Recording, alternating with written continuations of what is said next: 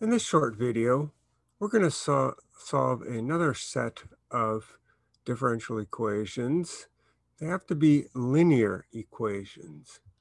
So remember, a first order linear equation can be written in this form, where all of the coefficients at most depend on the independent variable x, and the rest of the terms are nonlinear. So if we divide through by the coefficient on dy by dx, we get a equation that looks like dy dx plus p of xy equals f of x. And this is what we call standard form. And we'll use this standard form to find a solution on an interval i where both p of x and f of x are continuous.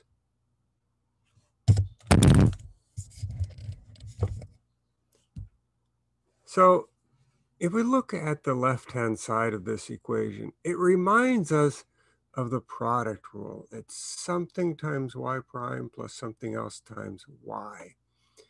But it's not the product rule as it's written, right? We would need to have um, a condition that can't be met here. But the idea here is to say, let's look for a function mu of x, where if I were to multiply the entire equation and, and both terms on the left-hand side uh, by this new function, we'd like that to be the outcome of the product rule. So bear with me here. So we're adding, taking a new function, we're going to multiply it through on the left-hand side and also on the right-hand side. And then we get to choose or define this function in such a way so that these two terms are actually two terms that would come from applying the product rule to y times some other function. Once we've done that, we should be able to solve uh, this equation by just integrating both sides. So let's see if we can find this function mu of x. So again, we want this, these two terms to be the outcome of a product rule. In other words, all right, sure, we want the first term, we have y derivative, so y prime, no derivative on mu of x. Here we have no derivative on y, and then we have this product right here. So obviously the function can't be mu of x, but maybe we can determine what mu of x should be from that condition. So in other words, we want this left-hand side to equal mu of x times y prime plus mu prime times y.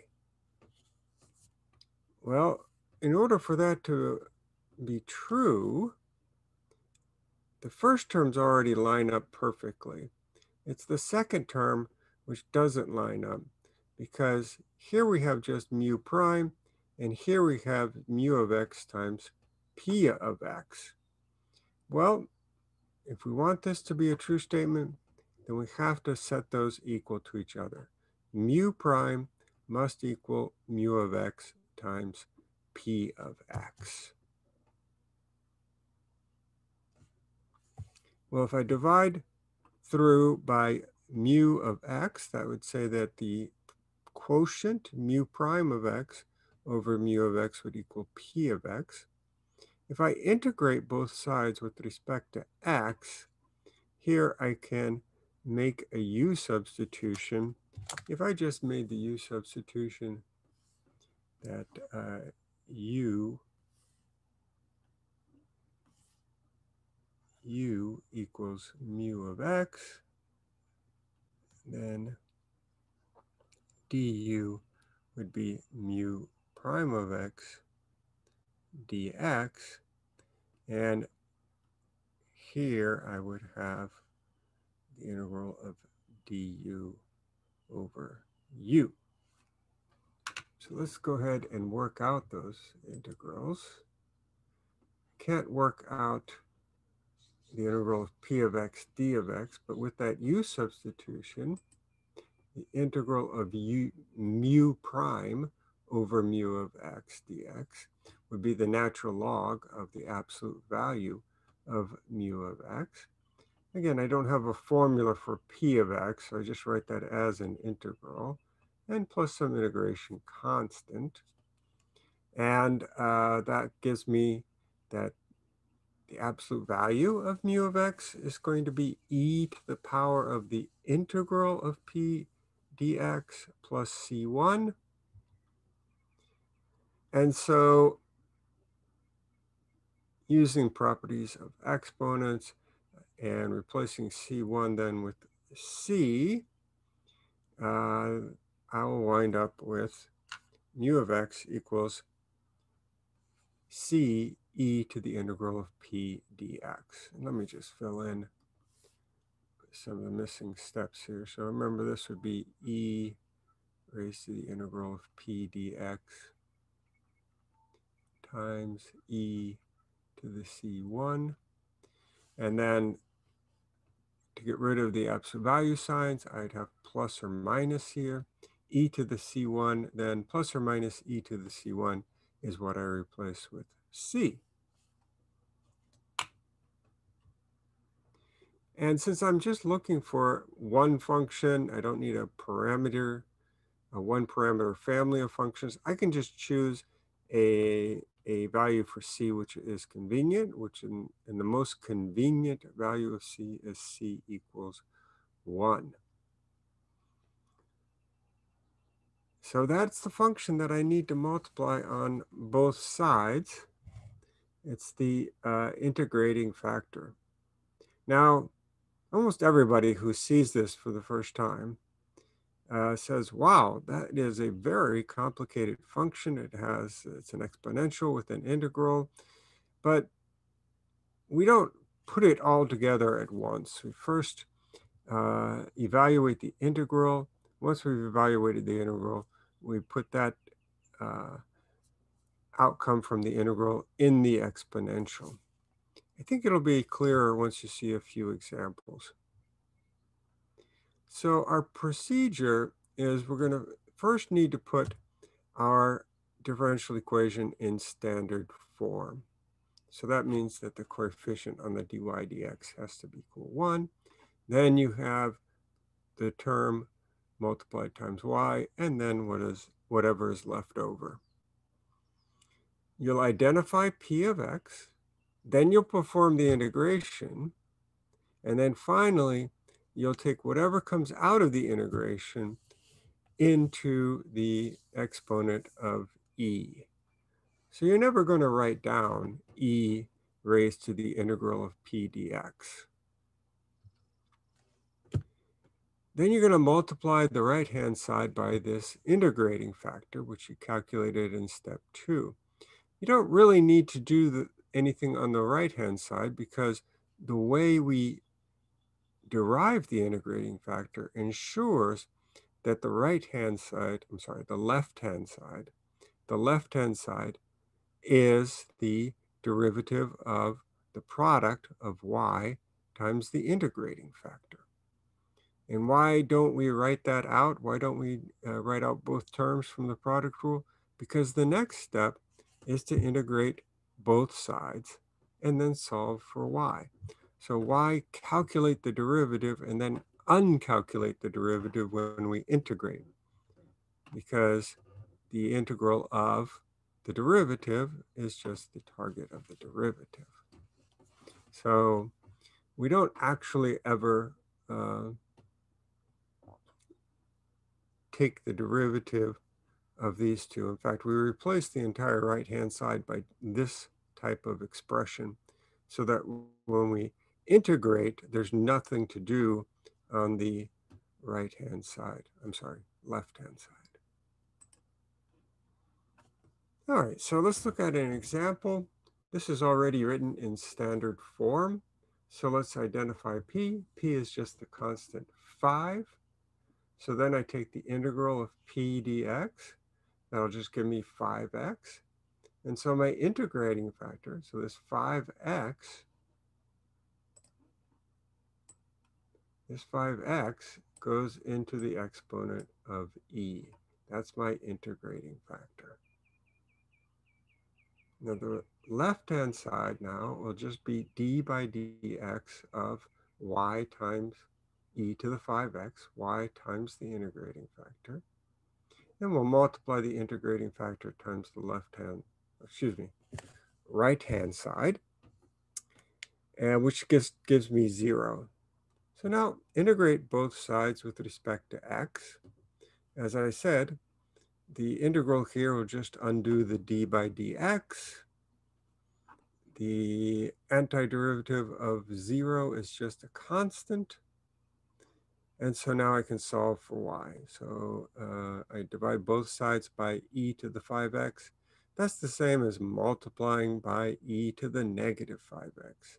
And this will be valid on the entire real number line. Here's another example, still written in standard form. Now p of x is still 5. Let's have the same integrating factor. The only thing that's different here is that now our right-hand side is the constant 2. So when I integrate, I have to find the antiderivative of 2e to the 5x dx and that will be uh, 2 fifths e to the 5x plus c.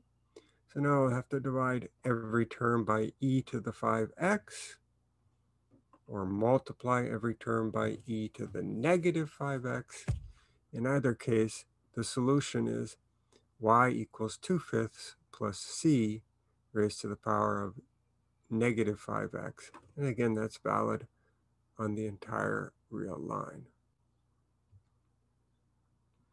The term here, c e to the negative 5x, is what we call a transient term.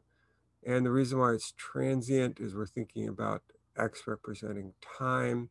And as uh, time increases, the impact of that term goes to zero. So any term, whether x represents time or not, any term which goes to zero as the independent variable goes to infinity can be referred to as a transient term.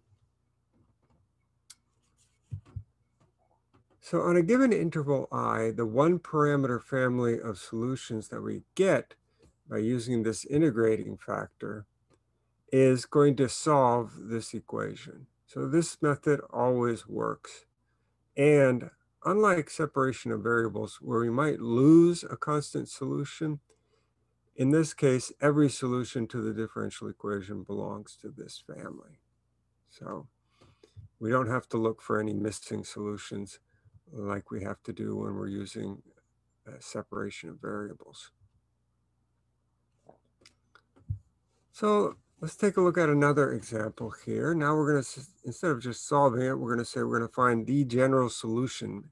General solution means that a one parameter family of solutions which encompasses all possible solutions. But the technique doesn't change. We're still going to find p of x. We'll integrate p of x dx. In this case, that gives us negative 6x. That goes into the exp exponent of the exponential. And that gives us the integrating factor e raised to the power of negative 6x.